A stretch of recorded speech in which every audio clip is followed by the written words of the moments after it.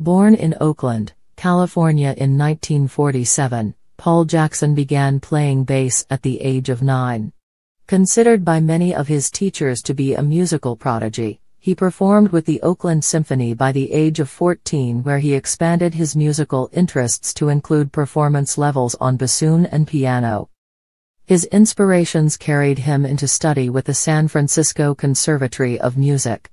The strong teaching foundation led him into teaching seminars for years with institutions such as AN Contemporary of Music, Tokyo, Pan School of Music, Tokyo, Musashino School of Music, Tokyo, Berklee School of Music, Boston, University of California Santa Cruz, and San Jose State University. Paul has been an advisor for Osaka School of Music since 2002.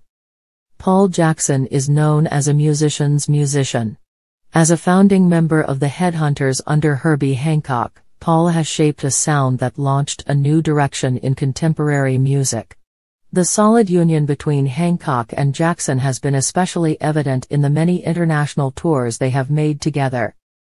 In 1979, Paul embarked on a solo recording venture releasing his own album, Black Octopus, on Toshiba EMI Records.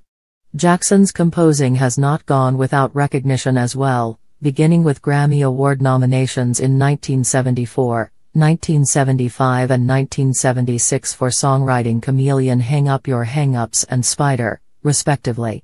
Like other highly talented, creatively motivated engineers of music, Paul has expanded his career to other mediums such as playing on the soundtrack of Paramount's Death Wish and Dirty Harry.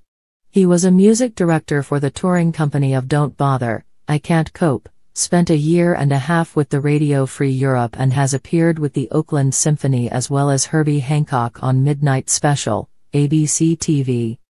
Time out to compose the score for film and other hefty projects was sandwiched in between appearing with the band's numerous jazz festivals such as the De Hague, Pori, Spain, Montreux, Newport and Paris. All in all, Paul Jackson is a million mile flyer since his 18th birthday. Since 1985, Paul moved his residence to Japan and continued to be active in many aspects of the Japanese music scene. Live concerts with nation famous artists such as Char, Tsutomu Yamashita, Sadao Watanabe have been performed in between composing slash arranging music for TV commercial films and movies. In 1987, Paul started one of his lifelong projects, Jazz for Kids, which is a voluntary concert performed at Japanese schools with an aim to introduce American Black history through music and slide presentation. More than 80 schools across Japan has been visited by Paul and his band, which has been introduced on NHK, the only Japanese governmental TV station. The associated documentary was made by the Ministry of Education in 1991. In the time when understanding of, and respect for fellow human beings are called for more and more, irrespective of differences in races and cultures, Paul is convinced that jazz for kids is needed more than ever. Even after moving to Japan and residing in Tokyo, Paul has spent time for live concerts in the United States and in Europe. In 1998, the long awaited reunion of the Headhunters was materialized with a release of The Return of the Headhunters. The Headhunters with Herbie Hancock made a successful tour through the USA and Europe in summer and autumn of that year.